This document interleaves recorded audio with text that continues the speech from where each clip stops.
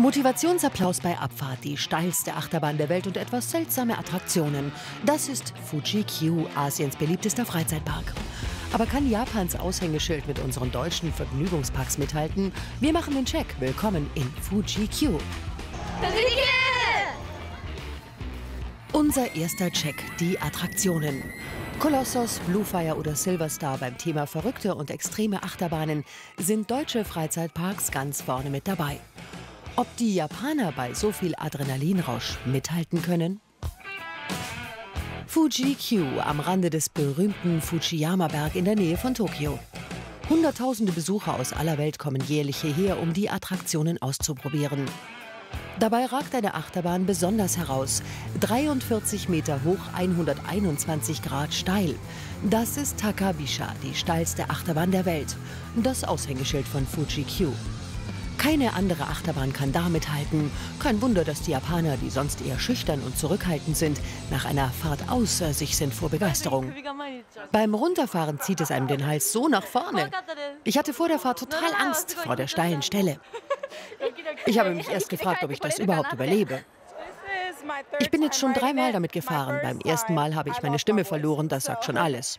Es ist zu angsteinflößend, weil man nicht sieht, wo man hinfährt. Während man sich in Deutschland selbstständig um seine Sicherheit kümmern muss, wird das in Japan ganz freundlich von den Mitarbeitern erledigt. Dazu gibt es bei jeder Fahrt ein etwas, sagen wir mal, skurriles Ritual.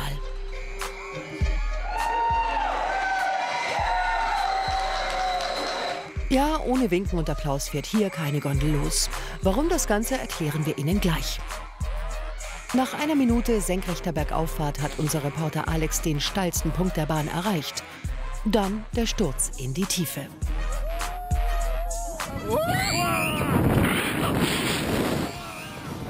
...121 Grad steiler Fall, danach einige Loopings und Schrauben.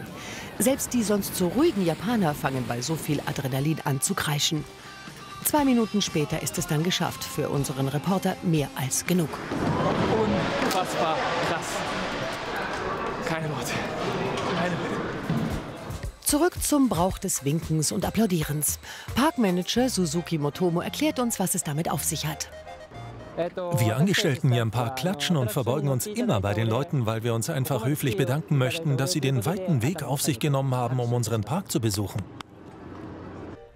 Nach dem verrückten Ritt im Takabisha besuchen wir die Lieblingsattraktion der Japaner. Zetsubo Yosai, die hoffnungslose Festung. Bis zu 60 Minuten stellen sich Japaner für diese etwas andere Attraktion an. Denn hier gibt es keine Achterbahn, kein Gruseltheater oder sonst was. Nein, Setsubo Yosai ist eine große Schnitzeljagd. In Gruppen müssen die Besucher nach versteckten Schlitzen in den Wänden suchen, in denen sie ihre am Eingang erhaltene Karte abstempeln lassen können. Wer alle neun Schlitze in sechs Minuten findet, hat gewonnen. Klingt nicht spektakulär, ist es auch nicht. Die Japaner sind allerdings Feuer und Flamme und durchsuchen im Eiltempo jede Ecke des künstlichen Knasts nach der Lösung des Rätsels. Zu gewinnen gibt es auch nichts. Wir sind verwirrt. Was soll denn daran jetzt so toll sein? Es ist total schwierig. Beim ersten Versuch kommt man da nicht durch. Man muss ungefähr 30 Mal rein, sonst no. Wir haben uns für das Labyrinth entschieden, da ich nicht auf die Achterbahn gehe. Wir haben es im Fernsehen gesehen und die Kinder haben gesagt, dass sie es ausprobieren wollen. Deswegen sind wir gekommen. Ich glaube, das Labyrinth ist so beliebt, weil es extrem schwierig zu lösen ist. 250.000 Personen haben es schon probiert. Geschafft haben es allerdings erst zwei. Ob deutsche Besucher sich für so etwas begeistern könnten, wagen wir jetzt einfach mal zu bezweifeln. Zum Glück bietet der Park neben der hoffnungslosen Festung auch noch genug andere Attraktionen, über die man sich als deutscher Besucher freut. Spaß haben kann man hier also auch als Tourist. Zweiter Check, die Größe. Wer sich den Heidepark von oben ansieht, kann kilometerweit die Attraktionen sehen. Satte 85 Hektar sorgen für Unterhaltung pur. Da kann der Fuji Q im kleinen Japan nicht mithalten. Gerade mal 11 Hektar groß ist hier die Fläche. In 10 Minuten ist man ohne Problem einmal durch den ganzen Park gelaufen.